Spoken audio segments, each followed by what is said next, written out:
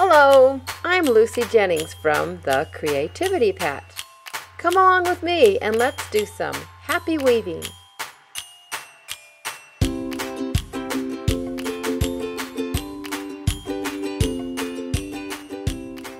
The glue's dried and I've trimmed off all the warp threads nice and close to the straw. And there we have our right side of our weaving. What I'm going to do is put a disc in the middle and then a little blue flower and a little tiny center for that blue flower, like that. So let me show you how. The first step is I thread a beading needle. I need a beading needle because that needle has to go through those that little tiny white bead. I'm going to press my finger firmly on the glass disc, turn my weaving over, and I'm going to find that hole and poke my beading needle right through it.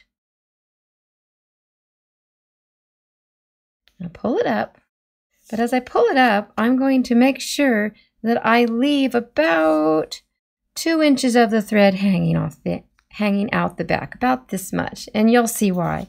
Turn my weaving back over to the right side and thread on that blue flower coming in from the back side of the flower.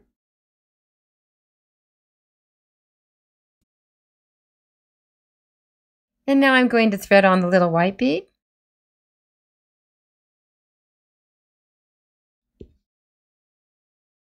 And as I take my needle, I'm going to leave the white bead up here while I thread the needle back through the flower bead and back through the disc to the back side of the weaving.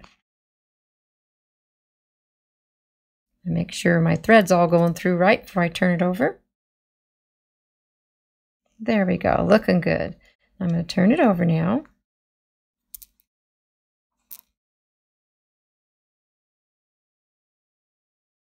And what I'm going to do is I'm going to tie these two ends together. This is the one that went through first, and this is the one that came back from the front side. I'll trim it off here. And I'm just going to tie it in a couple of knots. Make sure they're nice and tight because what I'm doing is I'm securing this and I do not want it to be floppy. That wouldn't look very nice. So I'll tie it a couple of times here.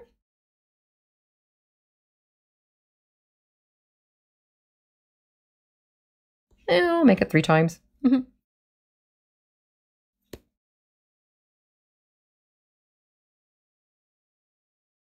And trim it off.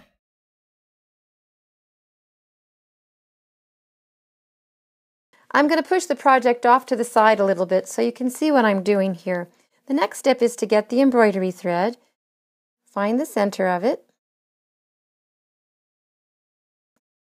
I want to tell you about this neat needle I'll be using. It's called the Big Eye needle, and it separates pretty wide so you can really get some yarn in there. You can get this needle at Rio Grande Jewelry Supply. If you're watching this on YouTube, you can find the link in my show notes. If you're watching this on my blog, just scroll down.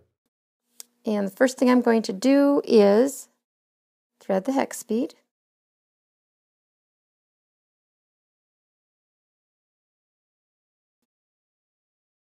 Then the triangle beads.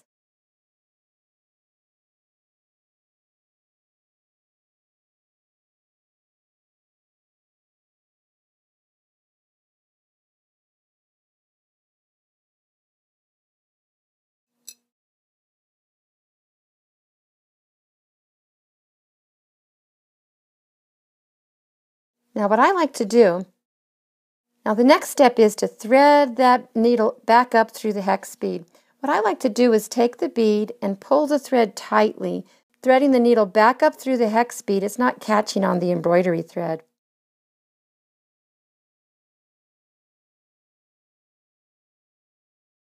I'm going to pull it up through here. And I want to show you what I'm doing here. I don't want it to be too tight. See, if I pull it too tight, that doesn't look good. It gets kind of all off center. I want it to have a little bit of ways of hanging down here, and it just looks kind of cute that way. So I'm going to take the embroidery threads up here we don't really need the big eye needle anymore. I'm going to take the embroidery thread and I'm going to tie a knot.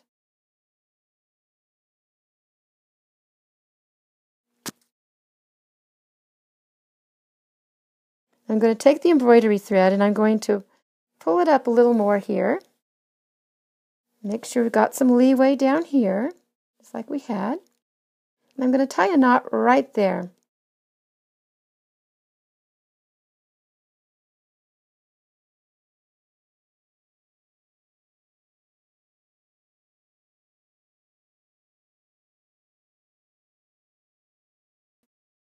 Sometimes it's nice to have the uh, needle to pull it down exactly where you want it. Now remember, it's getting a little tight down here, so I want to pull that down, pull the knot, and that's about how I like it, just like that.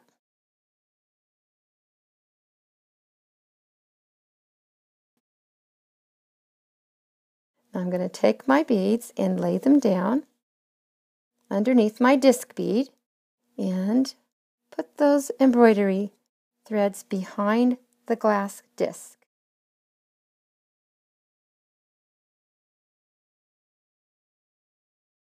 Now I want to make sure I like how it's hanging down here. I like it about there. Now to secure it there, I'm going to take one of my embroidery threads and wrap it around.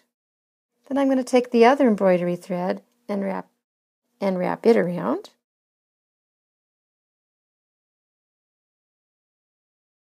just like that. And then it's nice and tight, and this isn't going to go up or down. The last step is to take the embroidery thread and tie it in place. Nice and secure back there. And one more time. And I guess one more time. I'm going to trim these off so they won't show. But you don't want to trim them too close. Oh, we're almost done. All we have left to do now is trim off the fringe at the bottom.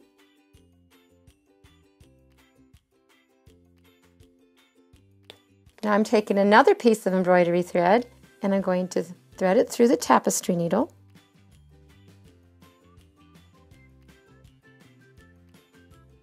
Kind of let a lot go through because what we're going to do now is take that tapestry needle and just let them go right down through that straw.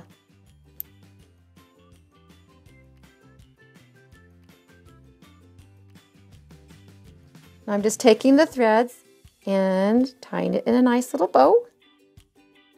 And that way it can be a little bit adjustable for anybody who gets it.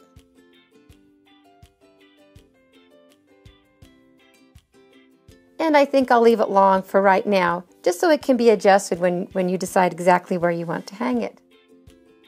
I hope you have fun with this project, and we'll see you on the next one. Happy weaving! Thanks for watching! If you'd like to learn more about weaving, subscribe to my channel. And be sure to check out my website, The Creativity Patch. There's lots more things to learn there, and I've got some really fun weaving kits. See you there, and happy weaving!